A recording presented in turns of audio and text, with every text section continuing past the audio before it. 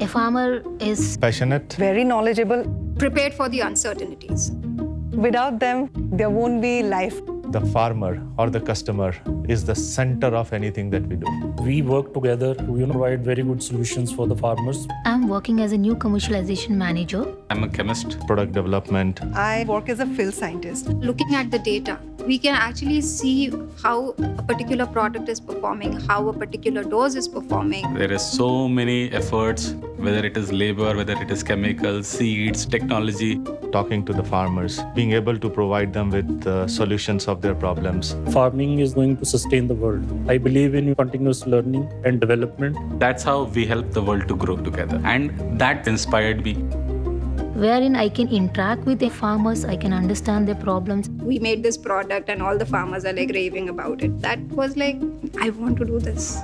I want to give it back to the Corteva as well as the society, addressing a key challenge to feed the growing population of the world.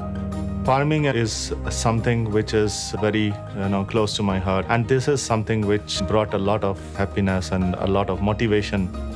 I'm proud that we are able to support the farmers. Sky is the limit, as we say. Together, we are working for one goal. We want to grow together.